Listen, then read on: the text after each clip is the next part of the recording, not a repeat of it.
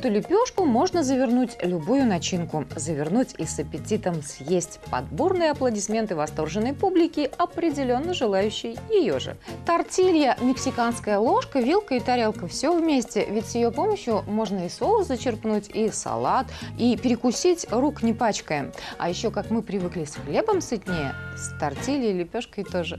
Здравствуйте, дорогие друзья! Итак, у нас сегодня таки мексиканский завертыш, я бы даже сказала, выкрутас, родственник нашему любимому бутерброду.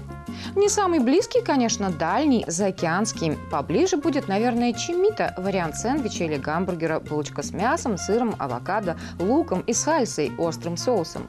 Но избалованный фастфудом мы уже, признаться, давно начиненный всяческими вкусностями. Не наш блин. Именно с сэндвичем уравняли, примирились и восхитились. Интересно, даже в адаптированном варианте. И, кстати, о блинах. Тортилья и впрямь их напоминает формой, но состав и способ приготовления другие.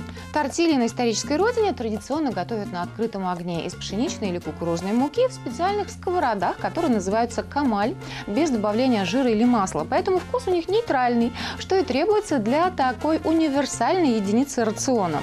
А уж сколько блюд можно приготовить, имея под рукой свежеиспеченную или свежекупленную, как в нашем случае тортилью.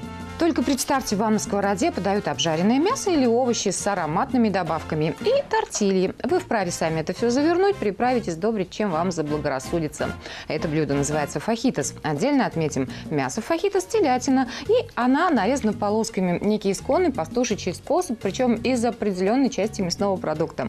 Если все то же, но будет внутри тортильи, да еще и обжаренным во фритюре, это чимичанга. А если нарезанное – кисадилья. А если все скажем так, в первозданном виде тортилья, начинка, закрут, аппетит, который, как известно, приходит во время еды. Это буррито. Один из самых его распространенных рецептов прилагается Буррито на разогретой с растительным маслом сковороде обжарить лук и фарш, добавить острый перец и фасоль, а также зелень. Тем временем нарезать сладкий перец, натереть сыр, нарезать салат. Все это распределить по лепешкам тортильям с добавлением острого соуса, закрутить, отправить в духовку минут на 10, чтобы сыр растекся. Когда произносишь буррито, волей-неволей задаешься вопросом, а что за слово такое?